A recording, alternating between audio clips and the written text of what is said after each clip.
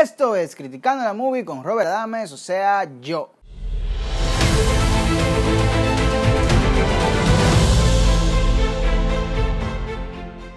Hoy les voy a hablar acerca de 500 Days of Summer. Sí, eh, los que normalmente ven mis críticas saben que yo siempre hablo de una película nueva, pero todos los años quiero hablarles de mi película favorita. Se me olvidó el año pasado, en el 2018, pero en mi primer año hice una crítica de Inception, que hasta la fecha es mi película favorita.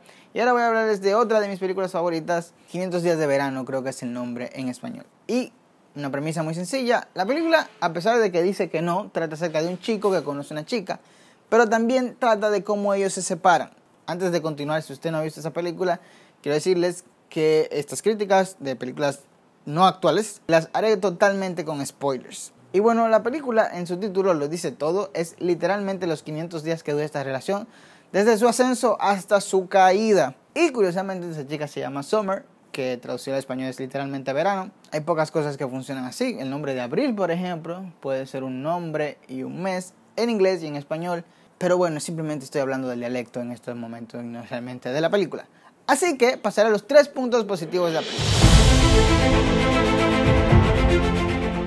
Lo otro positivo para mí que tiene esta película es que funciona muy bien como un anti-romance. Y un anti-romance, en mi opinión, es algo que tal vez me lo estoy inventando yo, pero probablemente sí existe. Es un romance que no necesariamente se presenta como tal, o que, por así decirlo, no tiene las características clásicas del romance en el que ya estamos acostumbrados y que a muchas personas le parece cansón, poco realista, etcétera, etcétera, etcétera. Entonces el antirromance viene a ser como algo un chin más realista, un poco más aterrizado, al mismo tiempo de que no lo es. Hay muchas cosas que yo diría que no son comunes en la vida real que suceden en esta película, como la secuencia de baile. Pero definitivamente a mí eso me encantó y realmente demuestra, de nuevo, algo muy real de las eh, relaciones y es que no siempre terminan en un punto alto. Y realmente, por así decirlo, para que una relación termine en un punto alto, tendrían que morirse uno de los dos en un muy buen momento de la relación, lo cual es algo realmente tétrico. Y por más bien que dure una relación, digamos, toda la vida de la pareja, alguno se morirá primero y eso será el final y será muy triste para el que quede vivo más tiempo porque se quedará con la soledad.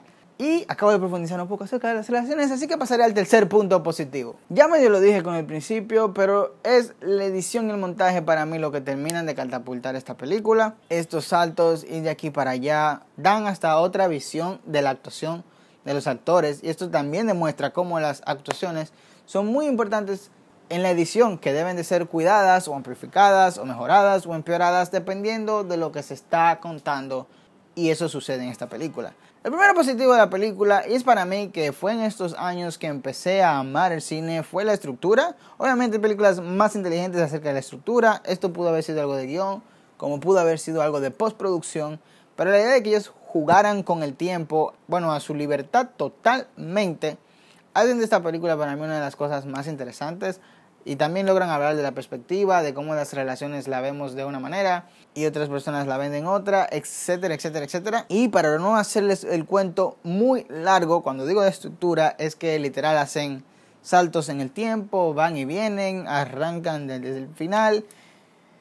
Y sí, esta película me dejó tan enganchada con la situación y lo que pasaba, que cada vez que salía una película de este director o de estos escritores, las intento ver por si hay algo de esa magia. No es así, no ha sido así, en mi opinión, creo. He visto pocas películas como esta, sobre todo porque también hace un balance un poco difícil para mí entre independiente y comercial. Eh, como les dije, es una de mis películas favoritas, es, creo que para ustedes es una sorpresa que yo le doy un 10.